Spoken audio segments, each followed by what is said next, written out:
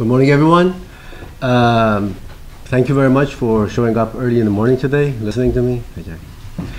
Um, today I'm going to talk about um, how good, bad, or ugly our assumptions are as far as building modeling is. And this is mostly coming from code provisions. Um, I have like 40 slides to talk about. I hope that I can go through them very fast. The first slide, I'm bringing up a few the front pages of these codes and guidelines. You see ASCE 7, you see ASCE 41, you see design, uh, tall building design guidelines from Los Angeles and San Francisco, and you see the um, two performance-based design guidelines. In all of these, either them, these documents themselves or their surrogates suggest ways to model your buildings. And this is for engineers. And engineers put their faith into these models and do their engineering work. We want to use instrumented building data to see how good these assumptions uh, can be. As far as today is concerned, my focus would be on two things. Number one, the things that we accomplished at UC Irvine, and specifically using instrumented building data to see how good, bad, or ugly damping and period assumptions are in ASCE 7. Also, we're going to look into the provisions for accidental torsion.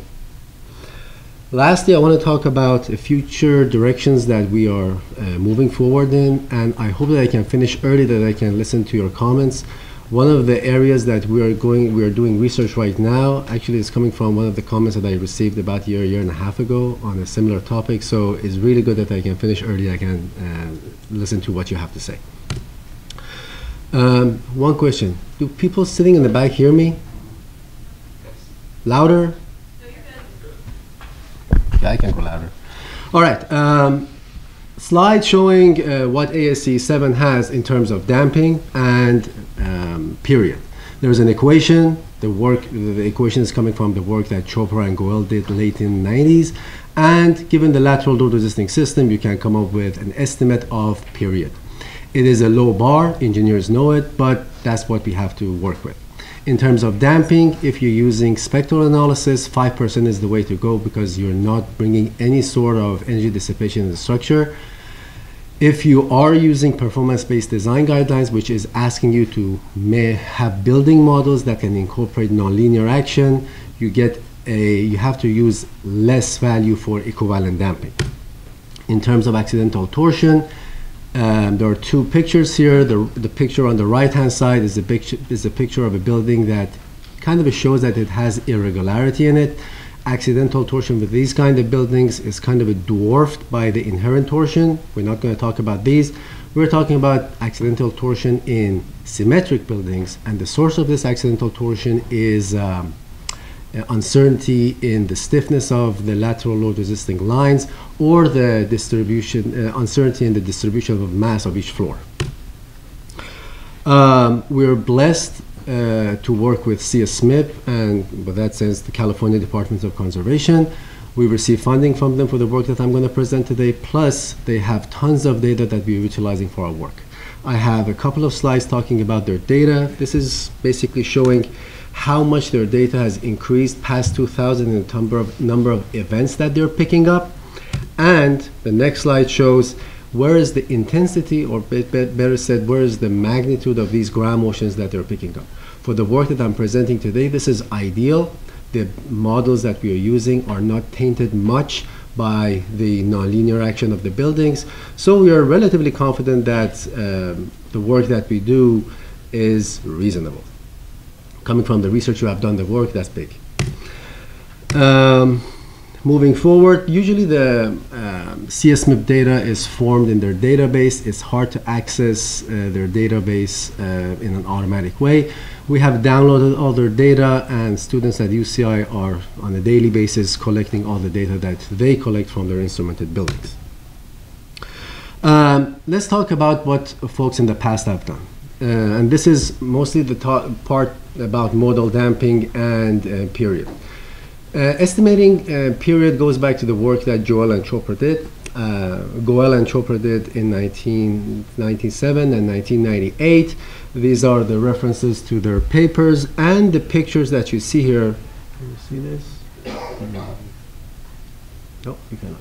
Anyway, um, the two, these two uh, plots show where is their suggested equation that ended up in the code for estimating building period. It's all based on um, low amplitude seismic events and low rise and mid rise buildings. Talking about damping, going back to the work that Satake did for Japanese buildings, and in this one particularly, you can see this exponential drop in first mode damping. Longer the period, less damping, and it gets almost to the level of 1% for buildings whose period is about 5 seconds. It's the same for steel and uh, concrete buildings, although that for concrete buildings it was a little bit higher. Recent work on this, it's the work that Bernal did, and later the work that Miranda and Cruz did at Stanford University, they focused on tall buildings. And this is a slide from their work. Their estimate of damping is a little bit higher than what Satake suggested, but is still in the order of 2 to 3%. Um, let's take a look at the building with a height of like 200 meters, something in the order of 50 story building.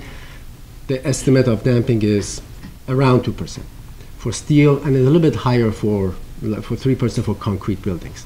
Their work is the basis for the TBI guidelines in San Francisco and in Los Angeles.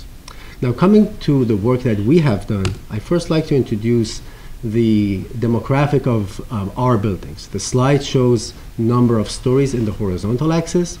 The vertical axis shows the number of buildings in this plot. The plot on the left-hand side and the right-hand side plot shows the number of events.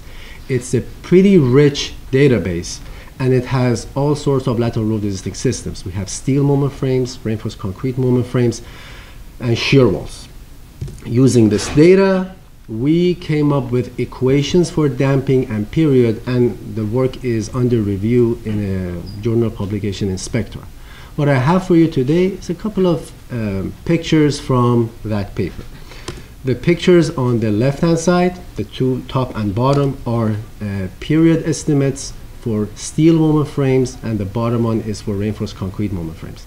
We think that the code estimate for period is on the low bar, and the values can be a tad higher. And we have equations for that. What I want you guys to focus on on damping is the large variation in the estimate of damping that we get from various system identification techniques. The prediction interval is very large and the estimates are in median happens about 3-4%. We have a suggestion how to move away from modeling all the energy dissipation in the structure through a viscous mode in the future direction, we're suggesting to have a damping element model that is a combination of a viscous damper and a Coulomb damper, it takes friction. I'm going to show how we calibrated the results and how nice the results look like. Um, comparing these damping results with other researchers, this is a very busy slide. Uh, what I want you guys to focus on are the black lines, which is coming from our research. The dots are results from system IDs and the color lines are the work from other researchers. Specifically, the work by Satake is shown with the magenta color. You can see that it's really low. The next one above that is the work by Bernal and uh, Miranda and Cruz, which is still estimates damping a little bit lower than what we estimated. We looked into the where the source of difference coming from, especially for the Cruz and Miranda work, and it all comes down to one, the unimportance of first mode damping for buildings who have a long period. Changing the damping, eh, viscous damping value wouldn't change the reconstructed results. And given that everything is based on system identification, the system identification technique would not pick up those differences. And the other one is we don't know um, uh, the system identification techniques, each one of them have different estimates of damping by themselves. And you can see the same thing for reinforced concrete buildings. Uh, so altogether, and this concludes the first part um, of our work at UCI, and this is basically talking about the damping and period. Uh, we have equations for T and Kc. Uh, some of our equations show that damping is amplitude dependent, especially for reinforced concrete buildings, is not amplitude dependent for steel buildings. And for tall buildings, the first mode damping shouldn't be your major um, point of argument, uh, as it was a few years back. Um, talking a little bit about system identification techniques um, to make this huge topic in like one minute. Basically, you're taking chunks of data from your red um, accelerometers, you're stacking them together, making this Hankel matrix, and then you're doing a, a singular value decomposition to come with eigenvalues. Depending on how, how what, what's the length of the chunk that you pick and you stack and how many eigenvalues you're going to pick for your system ID, you get different results. And the results are going to look something like these plots. The left-hand side shows frequency, the color shows the estimated frequency, and the right-hand side shows the equivalent damping for the second mode of a tall building. Horizontal axis shows number of eigenvalues that you picked, and the vertical axis shows how much was the length of the data that you stacked from your uh, collected data. The results show looks very stable. There is only one color that you see that is dominant in this picture. If I do this for that building but different modes, the first column is mode 1, second column is mode 2, and third column is mode 3. Top row is frequency, low row is damping. We can see that second and third mode is identified very well. The first mode looks a little bit fuzzy if you use different system identification techniques, each one of them will give you different results. So what we did was that we combined all of these results, looked into the maximum likelihood, and we generated a plot that looks like this.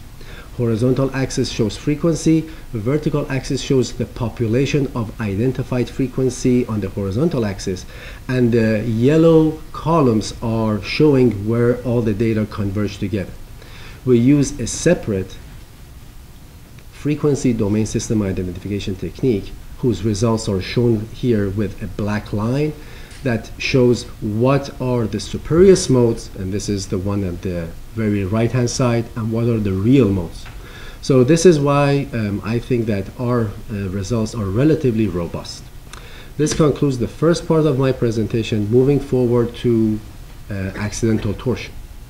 So as I um, mentioned early on, we are focusing on symmetric buildings, the buildings that you see on the left-hand side. Again, coming back to the work that was done in the past, earlier work goes back to Chopra and De La. They used also CSMIP data and they came up with plots similar to what you see on the picture. Horizontal axis shows the ratio of lateral to torsional uh, period of uh, building. The lower the value, that means that the building is torsionally flexible. The vertical axis shows effective eccentricity basically means you need to put the base shear with this level of eccentricity to the side of the center of mass that you can replicate the results of more sophisticated analysis, in their case, spectral analysis. What we have done is that we have used multi-degree of freedom systems and we have used time history analysis for our work. Another work that worth mentioning in this line is the ATC 123, uh, who looked into collapse as their um, performance measure. Uh, the work by DeBock and co-workers, basically I have mentioned an item at the bottom here that they think that for uh, buildings that do not have asymmetry or for um, uh, accidental torsion is not important for buildings that do not have much asymmetry. So now coming to our work, we took CSMIP data. You cannot find many buildings that are um, symmetric in their database. So we resorted to a hybrid approach. We generated a bunch of analytical models. These are analytical models that we are hoping that can replicate um, what you see out there in the society as our buildings. We have, this is the plan view of our building the, the period in the two horizontal directions in the translational mode is identical, they're similar. By changing the direction of the, uh, the distance between the walls or the frames in the horizontal direction, we're changing the torsional characteristic of the building. And by doing this, we're changing that omega parameter. The picture on this side shows the pushover of our 4, 8, 12, and 20 story buildings, and these results match very well um, similar work archetypes that was used to assess the collapse capacity of steel moment resisting frames. So we think that our models are representing buildings that are out there. I have two slides to show that this is a fact. The first slide is this one. You see black and gray colors. Black and gray are median and 84 percentile coming from our analytical work. The vertical axis shows a parameter called alpha 2, which is the magnification in displacement response of a floor due to accidental torsion. Horizontal axis shows that omega value. The lower the value, the building is more torsionally sensitive. As you can see, the buildings that are torsionally sensitive have a larger magnification due to their um, due to application of ground motions in, in their displacement response. There are dots on this picture. These are the results that we received from data uh, on CSMIP. As you can see, the data, the, the cloud of the data and where we have our median and dispersion fall relatively on top of each other.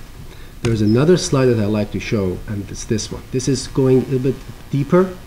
This is only looking at eight-story buildings. So I only have eight-story. The colors are green, um, uh, red, and black, and magenta.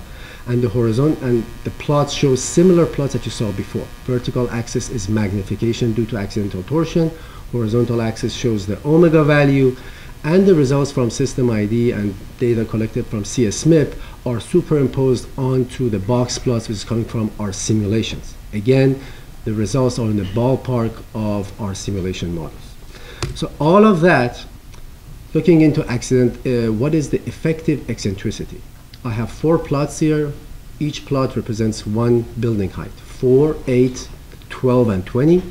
The vertical axis is the effective eccentricity, similar to what Chopra and De La Llera suggested. Horizontal axis is omega. You can imagine that uh, the way that we found effective eccentricity is that we moved the base shear that much to the side of the center of mass that it can replicate the magnification in response from our analysis, from our simulations, considering that there is uncertainty in the stiffness of the lateral load resisting systems. Altogether, we can see that 5% damping, a 5% effective uh, uh, uh, the 5% rule for accidental torsion falls relatively good where the median results are.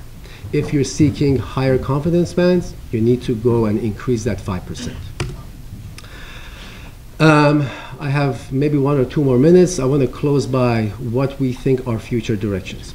I mentioned earlier that uh, equivalent viscous damping is not a good way to incorporate uh, energy dissipation in buildings in places, uh, in sources other than uh, structural components going in, doing their nonlinear action. What we suggest is to use a damping element, similar to what you see in the building. It looks like a, a brace frame, but it has two dampers on it. It has a viscous damper and it has a friction damper. We calibrated these results. You can see the three stories that we did the calibration for, the reconstructed results and the results read from da uh, data from CSMIP match very nicely together. We can also plot floor spectra. Even on floor spectra level, they look very nice. So we think that's the way forward.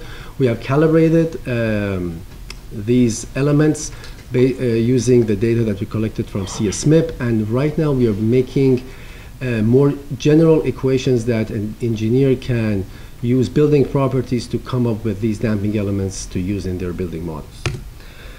Uh, the other one that we are looking into is try to find out how much is diaphragm flexibility. We always make assumptions that diaphragms are stiff, um, are rigid, using the data, we can see what is the, um, how good that assumption is.